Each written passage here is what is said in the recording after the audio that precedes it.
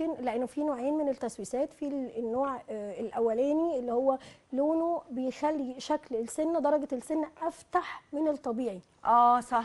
هو ده بيبقى تسوس ده ولا بيبقى تسوس. جير؟ لا لا تسوس. تسوس؟ آه. ده بيبقى آه، بيبقى عامل cavity عامل حفرة في السنة نفسها بس لونه أفتح من درجة السنة ده النوع من التسوسات بس ال- النوع السريع. يعني بسرعة جدا جدا بيوصل من الطبقة الأولى اللي هي المينا لحد الطبقة الثانية اللي هي العاج.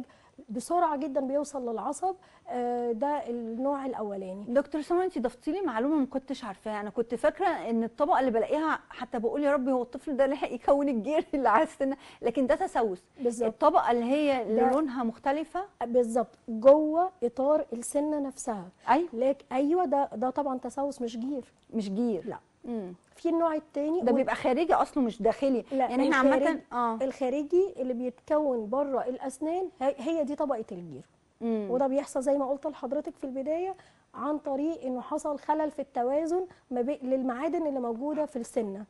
فحصل بقى بيحصل حاجة من اتنين. يا بتتكلس وبتعمل طبقة الجير اللي هي الطبقة الخارجية اللي بره السنة أو إنها بتحفر السنة من جوه بتدخل يعني زي ما بيقولوا بتكسر تاكل. الطبقة الأولى آه. بالظبط كده مم. بتكسر الطبقة الأولى اللي هي المينا لأن على الرغم إنها طبقة قوية جدا.